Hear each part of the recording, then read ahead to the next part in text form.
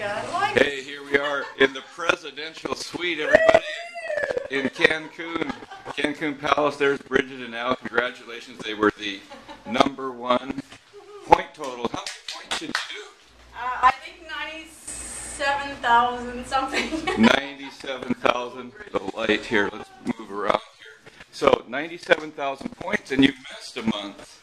yeah. Because you, you, got, you started like mid-February, contest was from January to the end of May.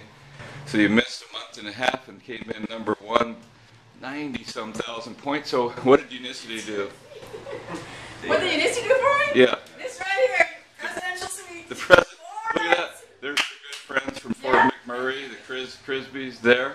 Congratulations, coming to Cancun reward trip. And there's uh, Rob Whitney, who made $60,000, right, Rob? Last 90 days. And you made it. Yeah. All right, he made it. Look at this, and let's go out and take a look at the view. Oh, yeah. Yeah, how's it look up there? That's amazing. This is where the party's at tonight, Jim. Yeah. Hey, Brigitte, how did you do? Allan, you guys got six kids. How did you get 93,000 points in that in 90 days? That's just It's an unbelievable. amazing Work, run. work, no work. doubt about it. Results, results, results. That's what it's all about. Step one, step two. Yeah. Yeah. For pgdnews.com and uh, .biz. Let, let's take a look at this view. Unbelievable. Wow. Look at the size of this balcony. Look at it. It keeps going around. It goes around too. Let's see. It is bigger than my motorhome.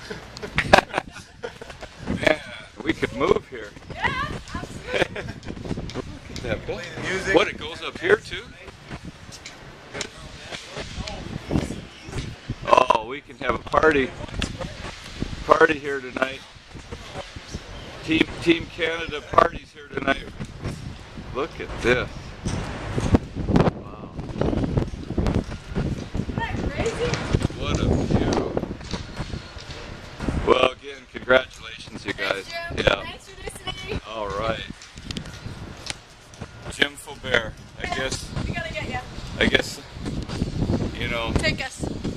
I've only got eight more days. Somebody has to do it. So, thanks, Unicity. Congratulations. Number one, 93,000. Allan and Brigitte. Later.